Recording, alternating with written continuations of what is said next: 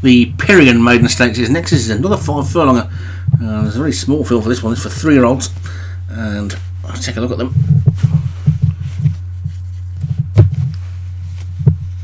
And we've got Altnara Song at the top for Derek Hinton, Byzantium Burley for Thomas Rogers, Prince of Darkness for Joshua Sutherland, Top of the Mountain for Jim Murray, Bangles for Beck for Stu Gray, just a click away, Craig Beckwith, and Tamania Feel for Rod McClure.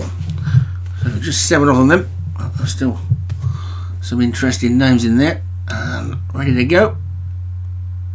And away we go uh, down on this near side Bangles of Beck was nicely out, but they saw themselves out there pulling for its head.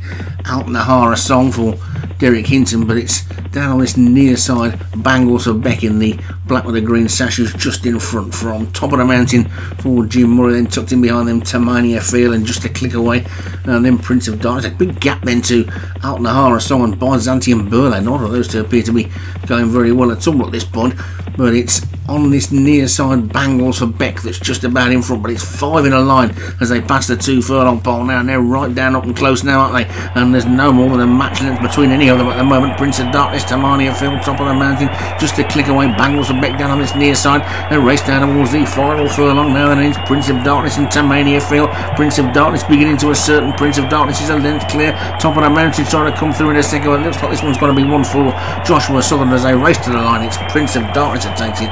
Top of the mountain second, Bangles and Beck third, Tamania Field was after that one. A couple out the back never got into it at all. I wonder if they're racing over the right trip, but it's Prince of Darkness who's taken that one for Josh. I think that's his first winner of the season on the flats. And Prince of Darkness, the winner for Joshua Sutherland. Top of the mountain, Jim Murray second. Bangles for Beck, Stu Gray third. Tamania Feel for Rod McClure was fourth. Just a click away for Craig Beckwith was fifth.